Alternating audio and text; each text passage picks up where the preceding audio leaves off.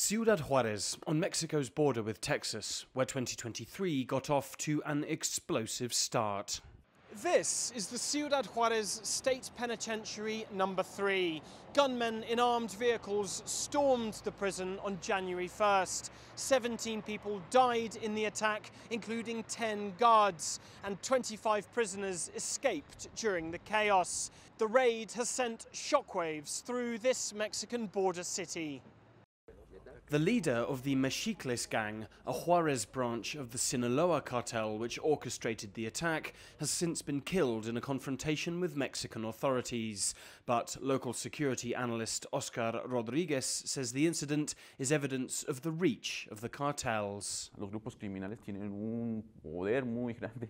Organised crime groups are very powerful throughout the city, even inside the prisons given how we have seen gang leaders continue to orchestrate their operations from behind bars. However, for this man who served a decade long sentence inside the penitentiary, such events are nothing out of the ordinary.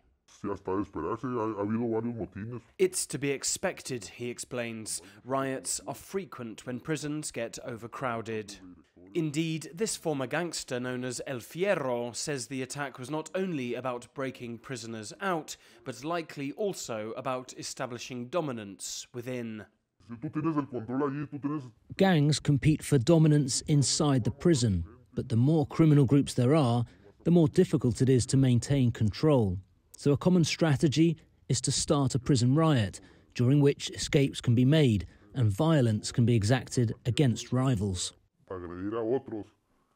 Indeed, the worsening gang violence on the streets of Ciudad Juarez, with one of the world's worst homicide rates, is only amplified inside its prisons, where control of the black market can be a matter of life and death. In prison, those who have money live better.